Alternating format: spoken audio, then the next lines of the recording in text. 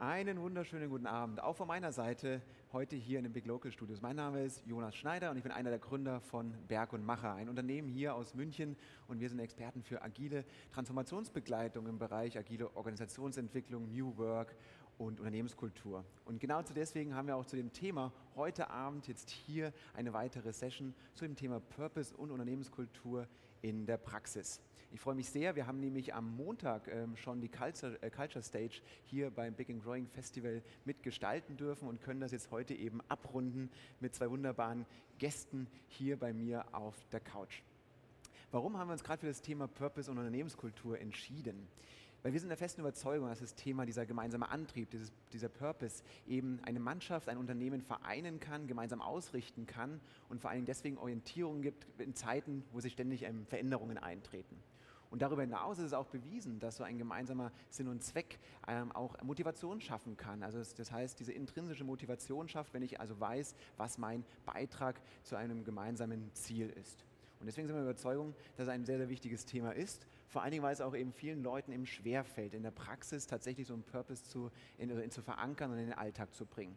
Und deswegen freue ich mich sehr auf meine beiden äh, Gäste heute Abend hier, zwei Social Entrepreneurinnen ähm, hier aus München, die ich mit dabei habe und freue mich sehr einerseits auf Katharina Meyer, die Gründerin von Kuchentratsch. Kuchentratsch vor gut sechs Jahren hier in München gestartet. Ähm, ein, ein Unternehmen, das es eben schafft, Seniorinnen und Senioren zusammenzubringen in einer Küche ähm, und dort eben ein schönes Geschäftsmodell aufgebaut hat, nämlich um eben Kuchen dann in einem äh, Online-Shop zu versenden und eben ähm, in die Welt zu bringen.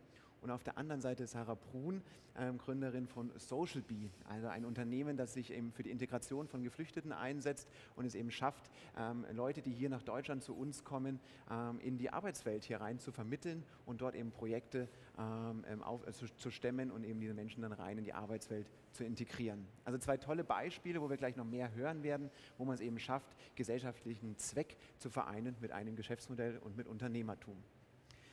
Schön, äh, freut mich sehr. Vielen Dank, dass ihr hier mit dabei seid. Und meine erste Frage geht jetzt auch mal um euren individuellen Purpose. Ich habe ja gerade schon viel angesprochen, sagst du Purpose, ähm, Antrieb ist ja das. Was macht euch aus? Was ist das, was euch antreibt, ganz persönlich? Wer möchte starten? Ja, ich kann gerne starten. Ähm, also ich freue mich auch total Aha. Das ging aber schnell. Mich an, persönlich möchte äh, Geflüchtete und vor allem Benachteiligte, also vor allem Menschen in Deutschland für Gleichheit, für Vielfalt, für eine bunte Gesellschaft, in der jeder eine Chance verdient hat. Und genau, ich persönlich, meine eigene Motivation ist es, mit Social Bee auch was aufzubauen, wirklich was zu gestalten, zu kreieren. Ich hätte mich auch einer anderen NGO anschließen können, aber das, was ich machen wollte, hat niemand gemacht und ich persönlich habe auch richtig Lust, Sachen aufzubauen und aus dem Boden zu stampfen. Und ich glaube, das ist auch so mein Charaktertyp. Ich bin ein kreativer Typ, der viel einfach anschiebt. Und wie gesagt, wir haben jetzt mit Geflüchteten gestartet, jetzt starten wir auch mit Menschen mit Behinderung, mhm. mit anderen Zielgruppen. Also es geht immer wieder um Anschieben, Anschieben, Anschieben, aber immer mit der Motivation dahinter, einen Beitrag zu einer anderen Gesellschaft, zu einer besseren Gesellschaft, zu einer besseren Welt auch zu machen. Und ich glaube, diese beiden Kombinationen, die treiben mich an, Entrepreneurship aufbauen und eben für eine richtig gute Sache, für Menschen, mit Menschen äh, und aus Leidenschaft. Sehr schön, sehr, sehr starke Startworte schon mal. Danke dir, Sarah. Wie ist es bei dir, Katharina? Ja, bei mir persönlich, ich komme eigentlich eher aus der Entwicklungszusammenarbeit-Ecke. Mhm. Ich habe in dem Bereich studiert, ich habe mein Praktikum beim Europäischen Parlament gemacht, habe meine Bachelorarbeit über Mikrokredite in Pakistan und Indien geschrieben und wollte eigentlich immer bei der UN arbeiten, bei einer großen Stiftung, bei einer großen Organisation und Gutes tun und habe auf dieser Reise festgestellt, dass es doch immer wieder der Fall ist, dass Impact nicht so ankommt, wie er vielleicht ankommen mhm. soll. Ich mochte das Modell nicht, dass nach Geld gebettelt werden muss und dann nach zwei, drei Projekt, äh, Jahren Projekte langweilig werden und neu gefördert, äh, gesucht und gefördert werden müssen. Und für mich war der Gedanke, etwas vor Ort zu finden, was etwas Positives bewirkt, und dabei auch noch sich selbst trägt, das, was mich angetrieben hat, denn das war auch was, was es zu dem Zeitpunkt noch fast gar nicht gab. Es war entweder ein wirtschaftliches Unternehmen oder eine Stiftung. Und mein Ziel und auch mein Purpose ist, diese beiden Dinge zu vereinen und zu zeigen, dass es nicht das eine oder das andere sein muss, um positiv in der Welt zu wirken und dabei auch Umsatz zu machen. Mhm sehr schöne Beschreibung eben von Social Entrepreneurship, eben genau diese beiden Sachen zu vereinen. Könnt ihr so ein bisschen berichten, so, äh, was sind eure Erfahrungen? Was, also standet ihr vor gewissen Hürden vielleicht, wenn es genau um dieses Thema ging? Was Impact, soziale, ähm, also sozialen Zweck zusammenzubringen mit was Unternehmerischen? Habt ihr so ein paar Geschichten, Anekdoten ähm, äh, auf eurer Reise schon, die ihr erlebt habt? Ich gehe davon aus, dass wir beide so ein bisschen Pionierarbeit geleistet haben. definitiv. Und äh, ich glaube, viel ausprobiert haben, weil es nicht so viele Beispiele gab, auf die wir zurückgreifen konnten. Und für mich persönlich gab es verschiedenste Herausforderungen auf diesem ganzen Weg der Gründung. Ich glaube, im Startup-Bereich etwas Alltägliches. Und die Komponente, etwas mit Impact zu machen, war in der Herausforderung, die ich am meisten festgestellt habe, dass ich und das, was ich mir als Idee überlegt hatte, dass Omas und Opas Kuchen backen und wir den verkaufen, dass die Omas und Opas zusammenkommen, sich austauschen können, einer Tätigkeit nachgehen und dazu auch noch ihre Rente aufbessern können, etwas war, das für viele Menschen nicht so im Kopf zusammengepasst hat. Und auch meine Eltern meinten so, ja, jetzt hast du studiert, das macht doch was Richtiges. ähm, oder immer so, ah, das ist die, das ist die Oma Katharina oder das ist die Kuchen Katharina oder oh, das ist ja alles so süß, das ist alles so rosa und so. hm. Und ich glaube, das irgendwie zu schaffen, auch ähm, mitzumachen, in meinen Augen, weil für mich ist es nicht eine rosa Welt, die die ganze Zeit stattfindet. Es war für mich, glaube ich, die größte Herausforderung, diese Annahmen und Vorurteile mitzunehmen und trotzdem das Wirtschaftliche zu sehen und auch einfach dieses knallharte Wirtschaftstum zu haben und die beiden Sachen zu kombinieren. Also ich kann mich da nur anschließen. Ich glaube, da machen Katharina und ich eine ähnliche Reise durch. Ich glaube, am Anfang kommt man erstmal rein, ah, die, Sozial die Sozialtante, die macht was mit Flüchtlingen. Das ist ja irgendwie ein net, nettes Spendenprojekt, aber was will die jetzt eigentlich? Und sich da auch sein Standing zu erarbeiten, zu sagen, wir als Organisation, als Social Business, wir kosten was, wir arbeiten professionell mit richtig guten Leuten, wir haben auch eine Dienstleistung, wir helfen euch, gute Mitarbeiter zu finden, die wir entwickeln. Ja, die haben Fluchthintergrund oder die haben vielleicht, äh, ja, sind Menschen mit Behinderung oder haben andere ähm, Charaktereigenschaften, die euch nur bunter machen und euch einen Wert beifügen als Unternehmen. Ich glaube, diesen äh, Mindset-Shift, der ist auf der Unternehmensseite schwierig, aber ich merke auch auf der sozialen Seite. Also auch da tun wir uns schwer, so zwischen Schwarz und Weiß, ja, zu sagen, ja, wenn du doch was Soziales machen willst, ja, dann äh, darfst du ja nichts dabei verdienen, dann darfst du keine Geschäftsmodelle haben oder mach doch gleich was Richtiges, geh wieder zurück ins Investmentbanking. Ich persönlich habe BWL studiert und war lange so ein bisschen äh, in der Finance-Industrie, im Venture Capital unterwegs. Da mach doch Investmentbanking, verdien da richtig viel Geld und dann engagier dich doch ein bisschen sozial. Nimm dir doch einen Paten, mach ein bisschen Volunteering, die anderen zwei, drei Stunden in der Woche und die anderen 60 Stunden geh doch in die richtige Wirtschaft und mach was Richtiges. Also sozusagen schwarz und weiß, weil das ist ja dann ehrlicher. Das sind so die Statements, mit denen wir, glaube ich, so konfrontiert werden, aber auch ein Mantra, gegen das wir, würde ich ganz sagen, ja, wo wir für was anderes stehen wollen, für eine neue Wirtschaft, für eine, in der man eben für die Gesellschaft arbeitet und nicht auf deren Kosten. Und jetzt habt ihr am Anfang eben auch schon das, äh, darüber berichtet, was euer Antrieb ist. Ja? Und auf Neudeutsch ist es ja eben so dieses Wort, dieses Purpose. Ähm, ein sehr, sehr weiches, großes Wort. Habt ihr für euch eine Definition, was äh, Purpose für euch bedeutet? Also das Wort, der Begriff. Ich kann einmal erzählen, bei uns aus der Firma, äh, wir haben uns dazu auch sehr viele Gedanken gemacht und unser Purpose ist Leben lebenswerter machen. Und das haben wir für uns auch nochmal weitergedacht und gesagt, das Leben lebenswerter machen ganz klar für die Omas und Opas, die bei uns backen. Auf der anderen Seite auch für die Mitarbeiter und Mitarbeiterinnen, die Vollzeit bei mir im Team arbeiten, um deren auch ein Arbeitsumfeld zu schaffen, was deren Leben lebenswerter macht und mit dem Modell, das wir haben, andere zu enablen und Vorbild zu sein, die sich auch trauen, mehr im Bereich Sozial- und Wirtschaft zu kombinieren, zu übernehmen. Und ich glaube, das, was ähm, oft irgendwie als schwierig gesehen wird, ist diesen Purpose zu definieren oder irgendwie so, ah, was ist denn das, wie geht denn das? Und ich glaube aber, das ist eigentlich gar nicht schwierig in dem Sinne, dass war eigentlich jeder und jede weiß, was der Purpose ist, sondern das aufs Papier zu bringen, ist, glaube ich, die Herausforderung. Denn oft ist es ein Gefühl und eine Emotion, die in einem selber schon steckt. Habt ihr da einen gewissen Prozess durchgemacht, um es aufs Papier zu bringen? Ja, äh, wir haben ganz viel Warum-Fragen gestellt. Die Fall vor Eis. ja. ja. Und irgendwie nicht aufgehört, warum, warum zu ja. äh, fragen. Denn natürlich beim ersten Warum ist bei uns rausgekommen, ja, um den Omas eine Aufgabe zu geben. Ja, warum? Ja, damit die Kontakte knüpfen können. Ja, warum? Ja, damit die was zur Rente verdienen können. Also es gab so sehr viel Warum, mhm. warum und es hat uns einige Warums äh, gebraucht, um dann wirklich darauf zu kommen und zu sagen, unser Purpose ist Leben lebenswerter machen für uns und für die anderen. Mhm. Und wie ist es für dich die Begriffsdefinition Purpose?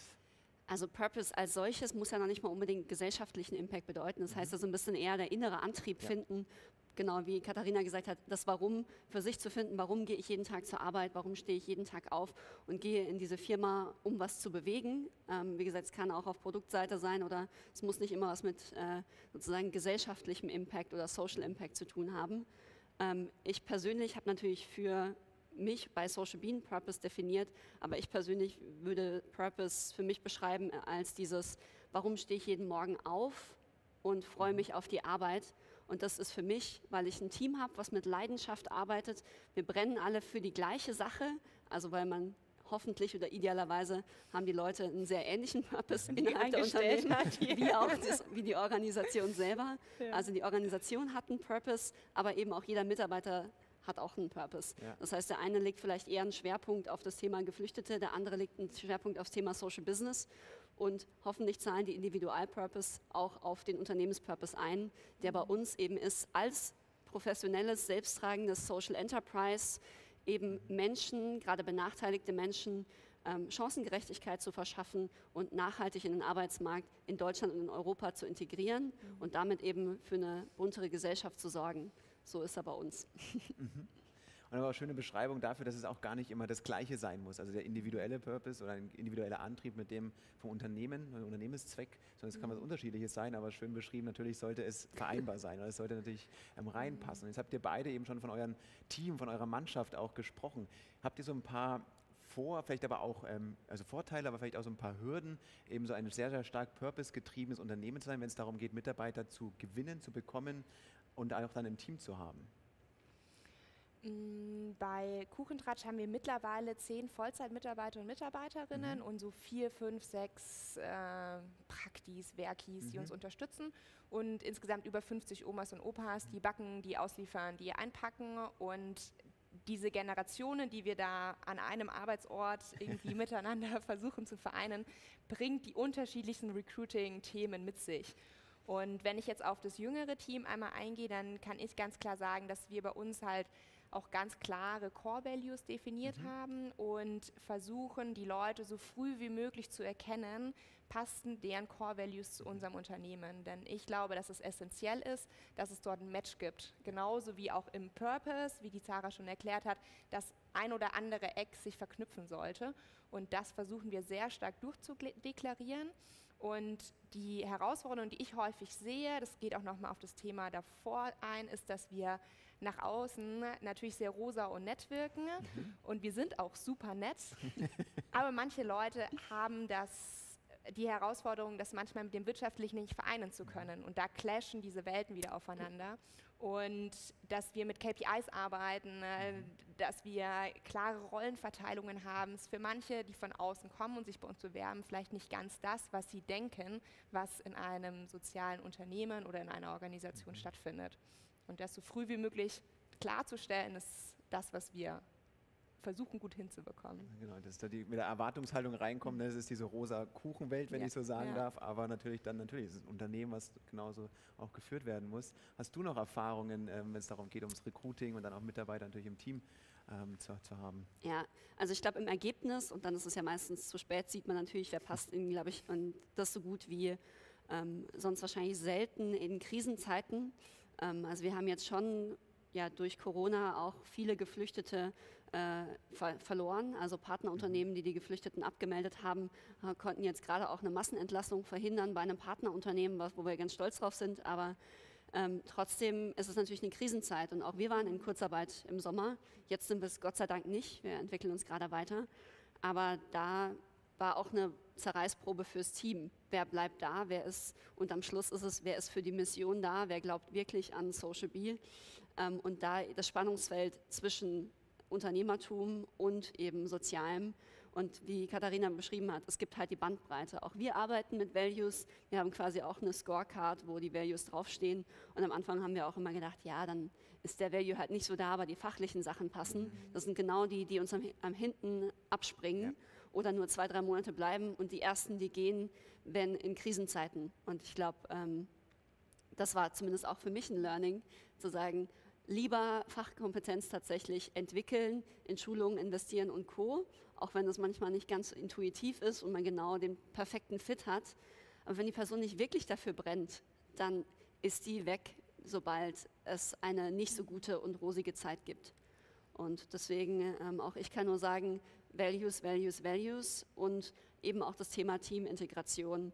Äh, wie sehr ja, passt die Person in die Teamdynamik? Mhm. Ähm, auch da geht es überhaupt nicht nach Alter oder Herkunft. Ich glaube, da sind wir extrem bunt auch intern aufgestellt, vom Sales Manager bis zum Integrationsmanager, der davor Pädagoge war und der Sales Manager war bei äh, Wüstenrot im Vertrieb. Also unterschiedlicher kann es von den Inhalten nicht sein, aber alle brennen halt eben für die Mission und sind untereinander bei uns befreundet, was äh, oder viele, was schon auch sehr dem Zusammenhalt hilft.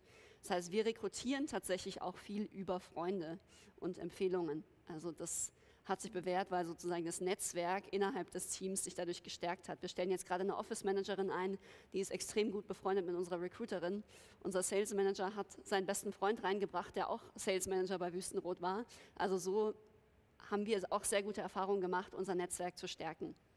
Und meistens ist es ja auch jetzt gar nicht nur, weil jemand jemanden kennt, jemand, dass er jemanden kennt, dass er den reinbringt, sondern es ist ja oft auch diese Basis, die diese Menschen haben und deswegen einfach auch wissen, das passt von den Werten, das passt von der Art genau. der Zusammenarbeit und deswegen geht man da, glaube ich, mit einem anderen Gefühl auch schon rein. Ja. Und es ist natürlich eine schöne Art, äh, ähm, eben Recruiting auch zu machen dann in dem Fall. Wir lernen tatsächlich auch die Mitarbeiter auch gerne länger kennen, über mhm. längere Phasen. Also ähm, ja, ob die dann bei den ersten Team-Events dabei sind, heißt öffnen die Team-Events, dass sie ihre Freunde und Bekannte mitbringen. Da lernen wir, haben wir die ersten Kontaktpunkte schon. Also eigentlich unsere Mitarbeiter, die da sind und geblieben sind, die haben wir alle davor über Praktika, über Werkstudentenjobs oder eben auch über Team-Events so ein bisschen vorher kennengelernt. Ähm, und auch das finde ich ist eine schöne Möglichkeit. Das macht zum Beispiel auch Netlight, ähm, eine bekannte ähm, IT-Firma, mit der wir auch immer, immer wieder Projekte machen, dass die freitags einfach ihre, ihr Office öffnen für Freunde, Bekannte, dass man auch da, darüber rekrutiert ähm, und eine Bindung aufbaut, eigentlich schon bevor es losgeht in der Zusammenarbeit. Mhm. Und jetzt habt ihr viel erzählt, eben wie ihr ähm, die Werte ähm, habt und auch im Alltag einsetzt äh, fürs Recruiting, aber natürlich auch in Krisenzeiten. Lasst uns noch mal ein bisschen weiter so in die Praxis reinschauen. Also wie kann eben so das Thema Purpose, die Verankerung davon im Alltag aussehen? Habt ihr da ein paar Rituale vielleicht, die ihr für euch nutzt? Also wo, wo oder wo schafft ihr es eben den Purpose, der einerseits jetzt oder definiert ist, auf dem Papier steht, was schon mal ein großer Schritt ist, aber wie kommt er eben vom Papier in den Alltag, ja? also in eure Projekte, in die, in die Küche hinein? Wie, wie, wie kann das aussehen? Habt ihr da ein paar Beispiele? Wahrscheinlich haben wir teilweise gleiche Beispiele. Ich versuche eins zu finden, wo ich mir sicher bin, dass wir uns unterscheiden. Denn ich glaube, dass wir unsere One-on-Ones, wo wir die Monthlies einbeziehen, einmal im Monat mit unseren Mitarbeitern, mhm. Mitarbeiterinnen machen, dass wir in der Scorecard, die reingeschrieben haben, beim Recruiting-Prozess in Fragen einbauen. Ich glaube, dass da äh, wir relativ gleich arbeiten. Vielleicht gibt es irgendwas, wo wir uns noch was anderes erzählen können. Also ich kenne zumindest, wir haben zum Beispiel ein paar eher lustige Rituale entwickelt. Äh, das eine ist zum Beispiel, wir, immer wenn ein Geflüchteter eingestellt wird oder eine Geflüchtete, haben wir ein Onboarding-Foto, wo das ganze Team zusammenkommt, irgendwie den Daumen hoch hält und dann anfängt zu klatschen, wenn das Foto gemacht wird. Mittlerweile, egal wo ein Foto geschossen wird bei Social Bee, fangen die Mitarbeiter an zu klatschen, weil das so ein Reflex geworden ist. Also es ist quasi eine Routine, eine kleine Mini-Zelebrierung bei jeder Vertragsunterschrift wo man sich irgendwie freuen kann. Wir haben eine riesen Mitarbeiterwand, also von den Geflüchteten ähm, über alle Menschenleben, die wir verändert haben. Die Wand ist riesig, da sind jetzt mittlerweile über 250 Gesichter drauf, die wir nachhaltig integriert haben. Das heißt, die haben ein Jahr Programm bei uns gemacht, ein Jahr beim Partnerunternehmen gearbeitet und sind dann übernommen worden in eine dauerhafte mhm. Beschäftigung. Das sind halt also eine Visualisierung ist bei mhm. uns sehr stark auch da. Ähm, und ansonsten haben wir schon eher, wir haben zum Beispiel nicht nur einen äh, Financial KPI Dashboard, wir haben auch ein Impact Dashboard. Mhm. Also unser Motto ist äh, Creating Chances mhm. und das heißt, wir haben quasi eine Nummer an jeden Prozess gemacht, wie viele Chancen wir damit kreieren. Also mit jedem Interview geben wir einem Geflüchteten eine Chance. ähm, mhm. mit jeder Übernahme, das sind zehn Chancen. Also wir haben es quasi so ein bisschen abstrahiert mhm. und äh, spielerisch gemacht. Und am Schluss haben wir halt am Monatsende ein Ergebnis, ein Unternehmensergebnis, ein Financial KPI der Sport und ein Impact KPI der Sport und sagen, wenn wir über 500 Chancen schaffen im Monat, wie gesagt, es wird so ein bisschen mhm. unterschiedlich gezählt, dann gibt es ein Team-Event, dann gibt es ein Budget frei, also solche Sachen, dass man damit spielt und eher den Impact incentiviert als jetzt die Financial-Themen, die ja Hand in Hand zum Glück gehen.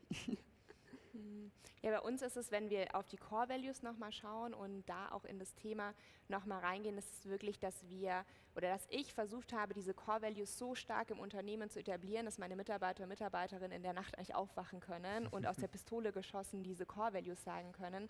Denn ich nehme mir im Januar immer ein bisschen Auszeit und fahre länger mhm. weg und äh, das ist eine Zeit, wo mein Team komplett alleine arbeitet. Und ich mhm. habe das Gefühl, unter anderem, dass sie durch die Core Values, die ich etabliert habe mit denen und auch so manifestiert habe, sage ich mal, die in der Zeit, wenn ich nicht da bin, die Entscheidungen selber treffen können und auch wirklich mhm. die Core Values anschauen, wenn sie sich unsicher sind.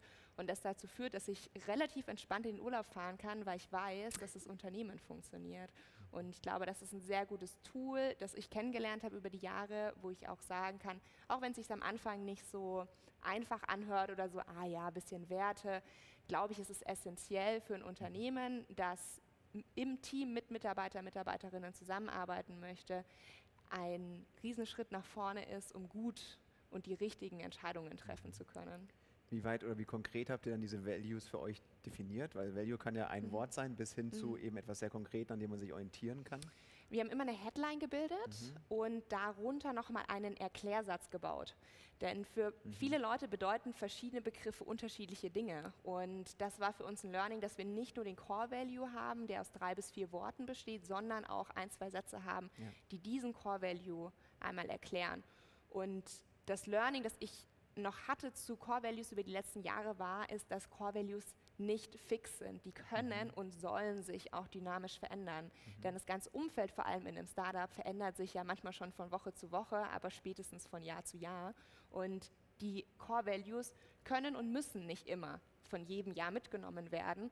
Und es kommen auch neue Leute hinzu. Und vielleicht, wie bei uns, verändert sich ein Core Value nochmal. Zum Beispiel Team war bei uns immer klar, ist es rumgeschwommen, war aber nie in der ersten Runde Core Values dabei. Mhm. Und dann zwei Jahre später haben wir gesagt, nee, das ist eigentlich ein riesen Core Value, den wir haben, den wir noch super gerne ergänzen wollen. Und da ist mein Ansatz wirklich zu schauen, wie über die Zeit ändert sich das und es ist völlig okay, wenn es sich auch ändert. Sehr schön. Wir kommen langsam ans Ende unserer Zeit und ich würde mich freuen, wenn ihr noch so einen kurzen Abschlussstatement habt, wenn wir so auf die Unternehmenskultur als Ganzes auch schauen und so ins nächste Jahr schauen. Wir haben ein sehr, sehr wildes Jahr hinter oder fast hinter uns. Was habt, nehmt ihr für euch mit? Wo möchtet ihr einen Fokus setzen, wenn es um das Thema Unternehmenskultur für euch im nächsten Jahr geht? Also wir haben das relativ klar definiert. Wir haben da auch morgen ein sehr großes Teammeeting zu, von daher bin ich bestens vorbereitet auf die Frage. Ähm, wir wollen Begeisterung und quasi den Sturm nach vorne als nur Defensive. Dieses Jahr haben wir sehr defensiv agiert. Mhm und geschaut, dass wir eher Investitionen zurückhalten, dass wir in Kurzarbeit gehen. Das machen wir nicht mehr. Wir gehen jetzt sozusagen nach vorne, sind mutig und wollen eben eine Kultur der Begeisterung wieder bei uns einführen und eben sehr viel Mut in neue Geschäftsmodelle und in neue Zielgruppen ähm, investieren als Team gemeinsam und dafür auch Räume schaffen, auch für operative Mitarbeiter, die sonst eben äh, ja, sehr viel in der Zeitarbeit mhm. sind, dass wir alle mitnehmen und nicht nur unser Business Development Team. Sehr schön, sehr schön. Danke dir. Katharina, dein Abschlusssatz dazu. Ja, bei uns ist es so, dass wir dieses Jahr ähm, eigentlich sehr viel Wachstum geplant hatten und dann äh, relativ früh im Jahr dazu kam, dass äh, unser eines komplettes Geschäftsmodell eingebrochen ist und wir in dieser Zeit geschafft haben, jetzt ein zweites Geschäftsmodell aufzubauen, das wir nächstes Jahr fokussieren. Das heißt, wir nehmen den Faden wieder auf und gehen wieder auf Wachstum und versuchen, alle Themen voranzubringen. Sehr schön. Habt euch viel vorgenommen, viel ähm, äh, vor im nächsten Jahr. Danke euch beiden, danke Katharina, danke Sarah für das tolle Interview. Schönen Abend noch und alles Gute für eure beiden Unternehmen. Dankeschön. Und danke, danke. euch äh, zum, äh, vom Zuhören. Schönen Abend euch noch und viel Spaß.